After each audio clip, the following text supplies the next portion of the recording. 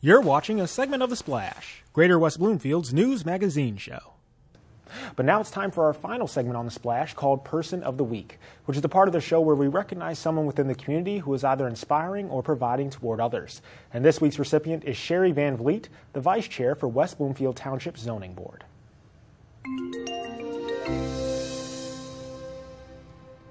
To say that Cherie Van Vliet wears many hats would be an understatement, considering how hard she works to provide for everyone within our community.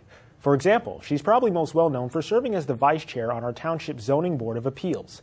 But when she's not there, Cherie can often be found working as a representative for the Senior Advisory District Council in Oakland County, which helps provide information and services to families with elderly loved ones. Not only that, but Cherie is also involved with the West Bloomfield Optimist Club and serves as its chairperson, putting on events and fundraisers for children throughout our area. In all honesty, you'd be hard pressed to find a kinder, more inspiring member of our community than Cherie Van Vliet, which is why we decided to go ahead and award her our Person of the Week. And if you happen to know someone who is providing a service to their community, then let us know by sending an email to the splash at civiccentertv.com. We want to congratulate those who are making a difference in our area, and we appreciate all of your suggestions.